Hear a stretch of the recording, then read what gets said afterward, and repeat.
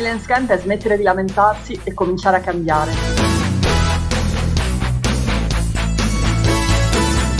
Una meravigliosa idea e soprattutto bellissime relazioni per essere sempre più free ma sempre più in rete.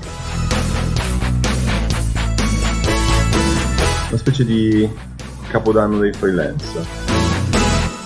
Io sono Alessandra Farabegoli Insieme a Miriam Bertoli e Gianluca Diegoli sono una delle tre persone che nel 2012 hanno dato vita al Freelance Camp.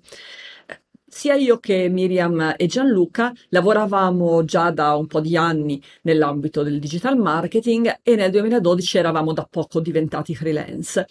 E così parlando fra noi delle gioie e dolori della vita da freelance, abbiamo pensato di estendere la conversazione ad altre persone, a tutti quei colleghi e colleghe che eh, si confrontavano con noi, che leggevano i nostri blog, che parlavano con noi, conversavano con noi eh, sui social network. E così gli abbiamo dato appuntamento in un venerdì di fine maggio al Bocca Barranca di Marina Romea, uno stabilimento balneare in riva al mare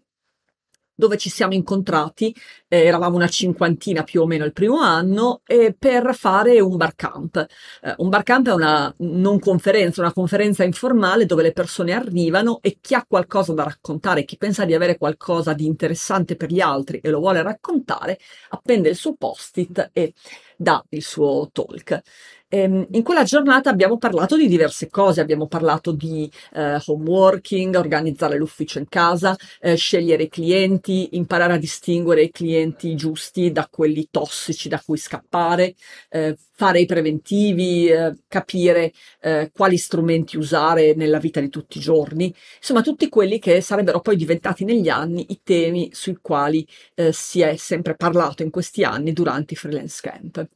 La cosa funzionò benissimo e alla fine di questa giornata eravamo tutti eh, più vicini gli uni agli altri, ciascuno sentiva di avere imparato, di avere condiviso e anche di sentirsi meno solo, perché uno dei problemi del lavoro indipendente è che sulle tue spalle gravano tutte le scelte e quindi hai un po' l'impressione di dover fare tutto per conto tuo, di non avere altre persone con cui confrontarti, con cui condividere eh, insomma, le, le, le scelte da fare e anche i criteri con cui fare le scelte. Non c'è nessuna azienda che ti dice cosa devi fare perché l'ha detto la tua capa o perché ci sono le procedure che ti spiegano come si fanno le cose. Te lo devi inventare, costruire con l'esperienza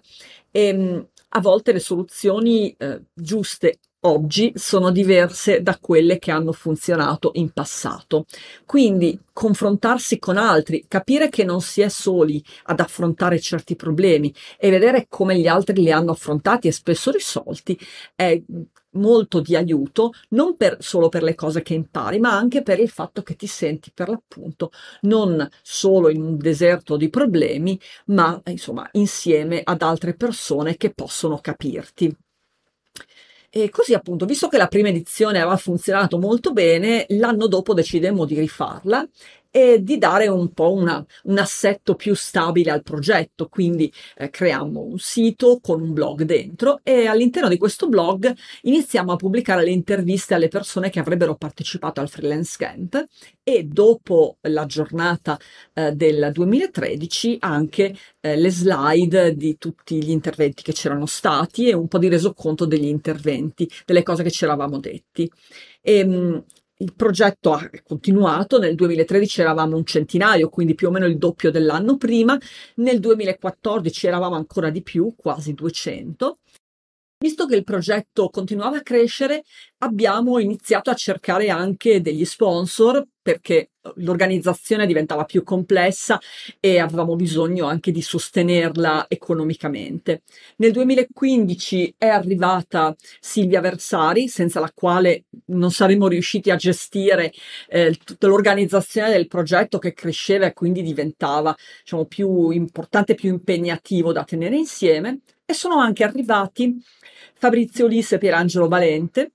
che avevano in mente di eh, creare una loro azienda eh, che si occupava di produzione video, quella che poi è diventata di lì a poco Vudio.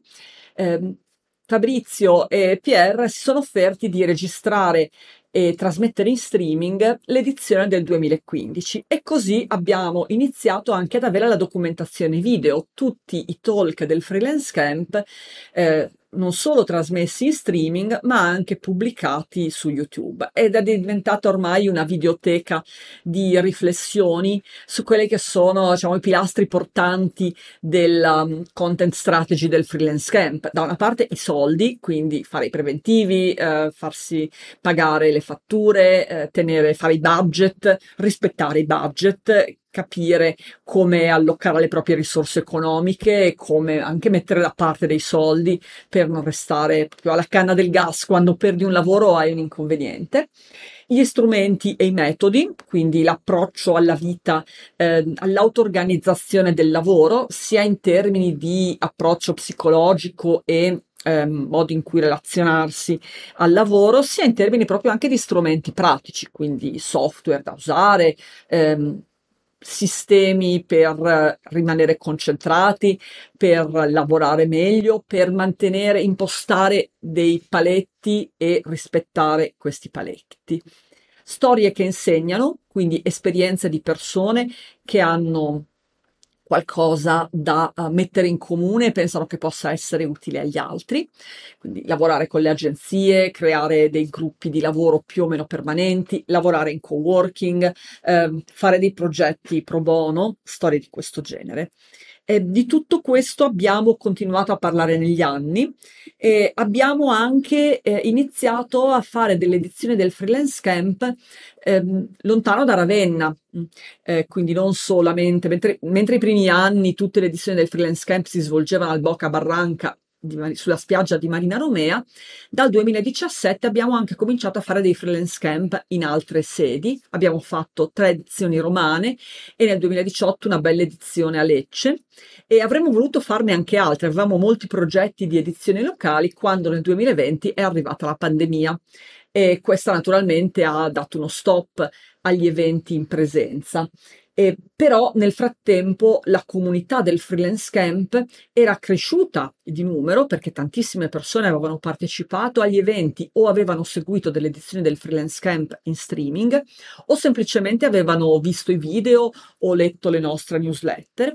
E quindi quando siamo, ci siamo ritrovati tutti nel lockdown a lavorare da remoto, eh, cosa che per noi freelance non è che fosse una novità, anzi ne avevamo parlato molto spesso durante i nostri eventi, però insomma il peso della solitudine e dell'isolamento si faceva sentire e la comunità del freelance camp è stata un grande aiuto per tutti e per tutte anche se non era, sta- non era possibile fare un freelance camp nel maggio del 2020 perché eravamo tutti ancora limitati eh, nei movimenti, limitati dal lockdown, abbiamo organizzato una bella edizione online a giugno del 2020 e poi abbiamo deciso che era arrivato il momento di dare diciamo una configurazione stabile e permanente alla community attraverso una membership annuale che è partita nell'estate del 2020 è il Freelance Camp Club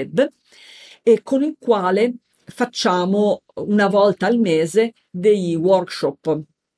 online, eh, gli Zoom Club, eh, nei quali si impara perché c'è una persona o alcune persone che insegnano agli altri qualcosa e al tempo stesso si ha anche l'occasione di fare un po' di conversazione sia con persone che conosciamo da tanto tempo sia con nuovi persone che conosciamo lì per la prima volta. Ecco, una delle cose importanti del freelance camp, una cosa che ha sempre caratterizzato la nostra community e i nostri eventi è stato lo spirito di accoglienza,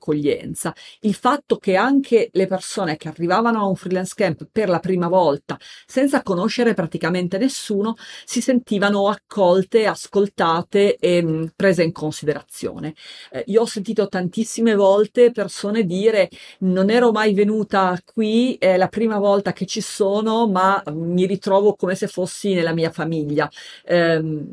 mi sento a casa, mi sento accolta. Ecco, questa è una cosa che mi fa sempre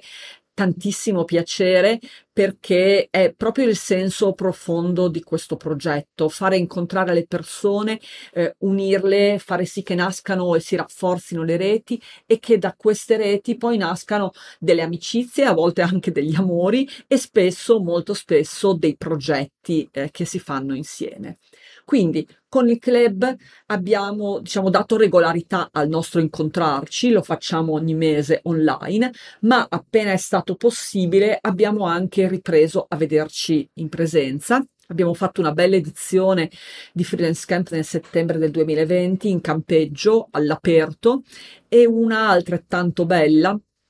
nel giugno del 2021.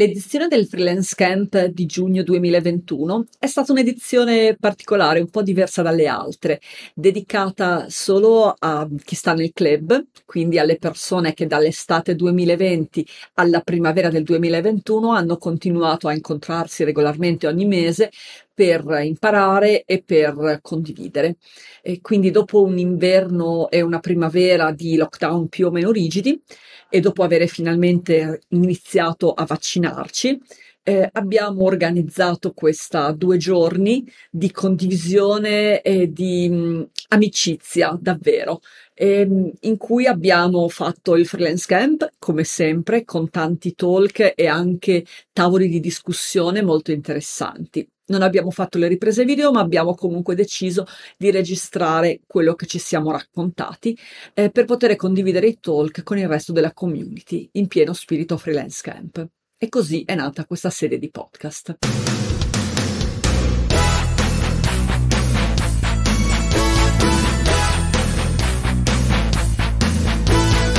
Per saperne di più, visita il sito www.freelancecamp.net e iscriviti alla newsletter riceverai subito 6 lezioni per diventare freelance migliori, una raccolta di alcuni fra i talk più interessanti e utili del freelance camp.